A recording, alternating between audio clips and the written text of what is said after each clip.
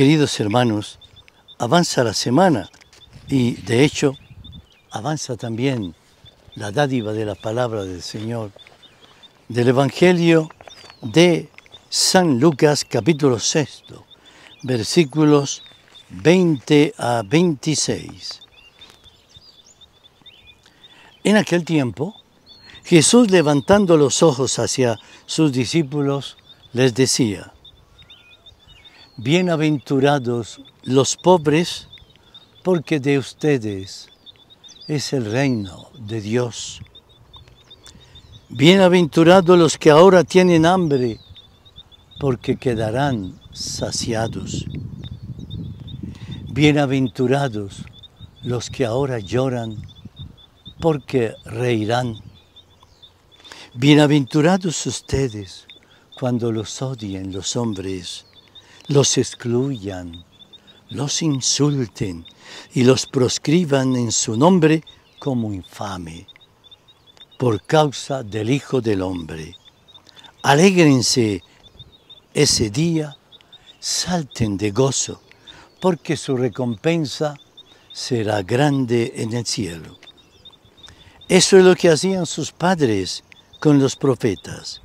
Pero hay de ustedes, los ricos, porque ya han recibido su consuelo.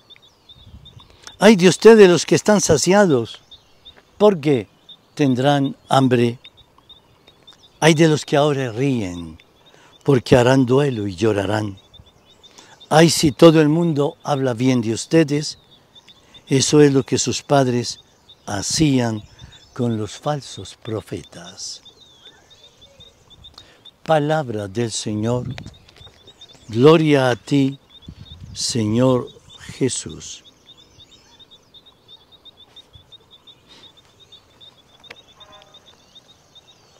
Tenemos al fondo una bellísima construcción que tiene fama en todo el mundo, llamada el pabellón Seri, por muchas características. Y yo diría que para llegar allá tenemos un camino. Y cuando uno va por el camino, uno sabe que se va acercando al pabellón y que por lo tanto lo va a conocer de cerca y que lo va a poder habitar y que va a poder estar allí. ¿Por qué les digo yo? Porque un poco comparativamente el cielo es nuestra meta inmensa y el camino es esta vida.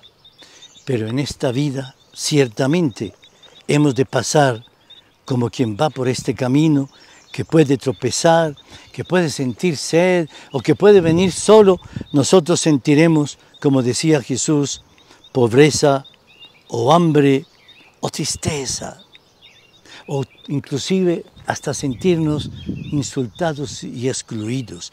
Pero si sabemos hacia dónde vamos, aquello se convierte simplemente en impulso que nos va a traer un nuevo paso de vivir el Señor en las bienaventuranzas de Lucas no lo hace, en las de Mateo tiene sus ayes contra aquellos que, por ejemplo, si estuvieran en el pabellón, impidieran que pudiéramos seguir y se ríen de los que no están allá y los humillan, pues están descalificados. No, los cristianos debemos siempre acoger a los demás. Dios brinda sus bienes para todos, nos llama a todos y por eso se llaman estas palabras las bienaventuranzas de Jesús que nos traen paz en toda contradicción. Es como dice bellamente el apóstol Pedro en su primera carta, donde nos dice, más vale padecer haciendo el bien que padecer haciendo el mal. Sí, en la vida tenemos que padecer muchas veces y tenemos que tener, vaya que sí, penurias, contradicciones, dificultades, a veces dolores, a veces oscuridades, pero si estamos con el Señor, seguiremos adelante, estaremos siempre caminando hacia la plenitud de su amor y de su gracia, porque Él siempre nos espera con su salvación. Que nos bendiga el Señor ahora y siempre, en el nombre del Padre, del Hijo y del Espíritu Santo. Amén.